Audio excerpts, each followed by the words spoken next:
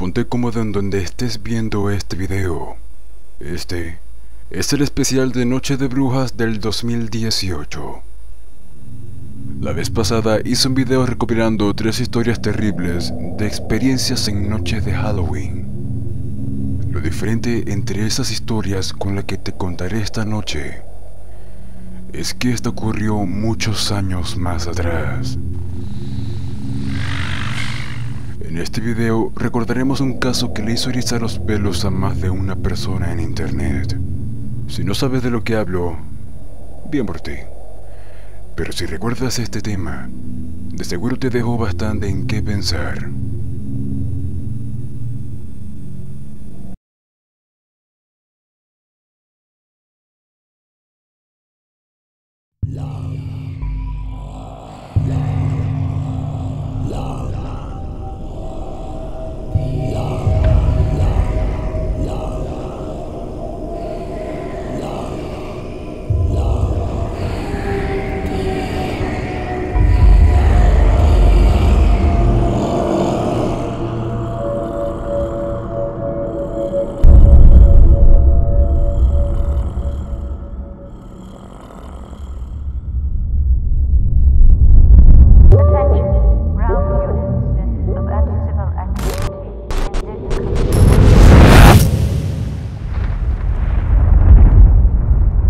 Área 51, en el desierto de Nevada, era el lugar donde, según los adictos a las teorías conspirativas, el ejército estadounidense ocultaba las pruebas de la existencia de los ovnis y la vida extraterrestre.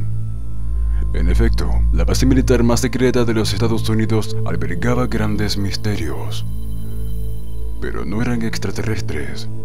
Eran aviones espía U-2, según revelaron documentos de la CIA desclasificados. En una nota del programa del famoso avión espía, la CIA afirma que el Área 51, de unos 51 kilómetros de largo, fue seleccionada en 1955 para servir de terreno de pruebas de este aparato.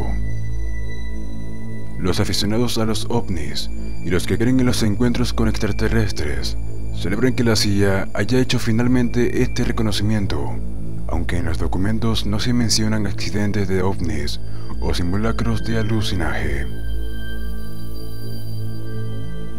Sin embargo, la versión de los investigadores de fenómenos extraterrestres es que en los hangares de la base se guardan vehículos extraterrestres, pruebas del incidente de Roswell, o sea, el supuesto accidente de un ovni en Nuevo México, ocurrido en 1947, y demás pruebas. Pero el informe señala que los aviones U-2 y Oxcart que vuelan mucho más alto que los civiles pensaban que era posible. Representan la mitad de los avistamientos de un ovni durante las décadas de 1950 y 1960. El gobierno de los Estados Unidos ni admite ni niega la existencia del Área 51. Pero este lugar se encuentra fuertemente custodiado y a los visitantes inoportunos se les enfrenta con guardias armados y helicópteros. Sobre eso se trata la historia de hoy. La historia que te contaré se volvió popular en el año 2012 y ocurrió el 11 de septiembre de 1997. En el programa radiofónico de Talk Show de Costa a Costa, presentado por Art Bell, dicho programa recibió una llamada inesperada de un hombre.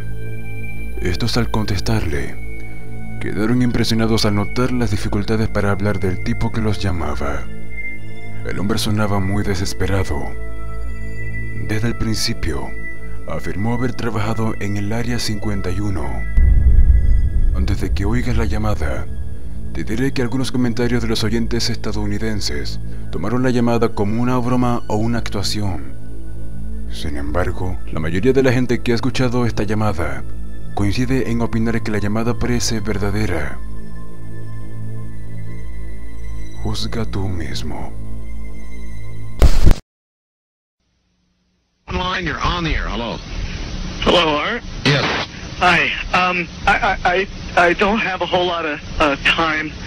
Um, Well, look, let's begin by finding out whether you're using this line properly or not. uh, Area, Area 51. Yeah, um, that's right. Were you an employee or are you now? Uh, I, a former employee. Former um, employee. I, I, I was let go on a medical discharge about a week ago, and I, I- I've kind of been running a, across the country. Um, oh man, I don't know where to start. They're uh, they're, they're, gonna um, they'll triangulate on this position really, really soon. So you Um, can't spend a lot of time on the phone. Uh, So give us something quick.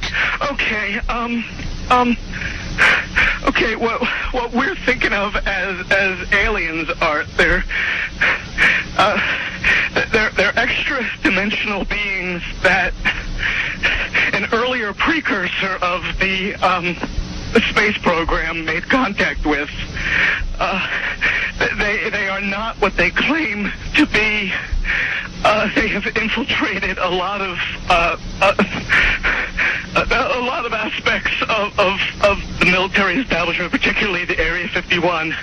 Uh, the, the disasters that are coming, they, the, the military, I'm sorry, the, the government knows about them, and th- there's a lot of safe areas in this world that they could begin moving the population to now, Art. But they're not doing. They're not doing anything. They are not. They want the major population centers wiped out so that the, the few that are left will be more easily controllable. Discharge.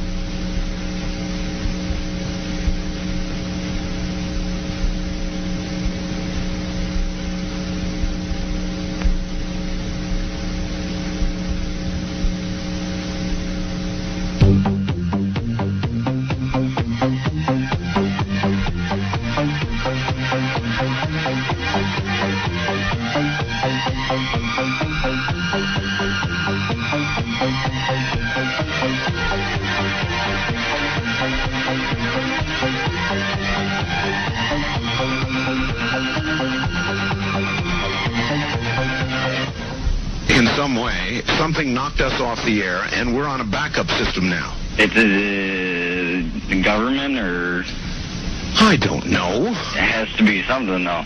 Well, did you hear? Now you tell me because you were listening. That was awful strange. There was a really weird guy on the air when it went off, Yeah, real weirded out. like uh, going, sort of, sort of sounding paranoid, Yeah. schizophrenic. Like crying and everything. Yeah, yeah, yeah. Yeah. And how far into the conversation was it when when it went off? Just a couple, about 15, 20 seconds, I'd say. Oh, you like you that. guys missed you, you really missed a call then, and I've got a feeling somebody didn't want you to hear it. Yeah.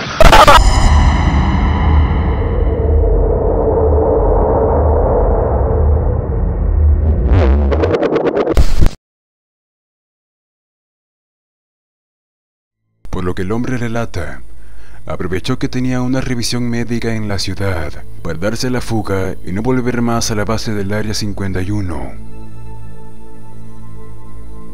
Y de ahí que él mismo se considere ya como un ex empleado, pero que había trabajado en el Área 51 hasta muy reciente. En ese momento tiene todo el trauma en su cabeza y necesitaba contárselo a alguien. Tan pronto como la persona que llamó comenzó a revelar los planes que tenían los visitantes hacia la población, la llamada fue cortada y sacada de la antena. La llamada sí ocurrió. Mucha gente cree que fue una broma de alguien a la emisora de radio, mientras que otros afirman que el hombre no estaba mintiendo. Una cosa curiosa que también se dio de qué hablar en aquellos años es que la llamada fue hecha un 11 de septiembre. Tal vez creas que fue una simple broma. Pero, ¿y si es verdad? Piensa en esta parte. But they're not doing. They're not doing They are anything. not. They want the major population centers wiped out so that the the few that are left will be more easily controllable. La identidad del hombre del teléfono nunca fue revelada.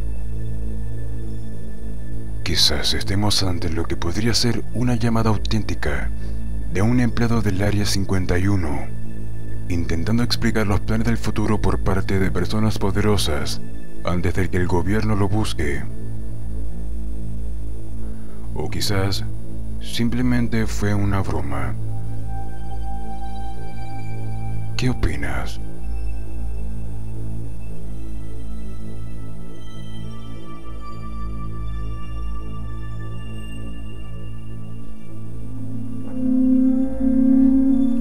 Si el video te gustó, no olvides dejar tu opinión en los comentarios y suscribirte para seguir creando contenido.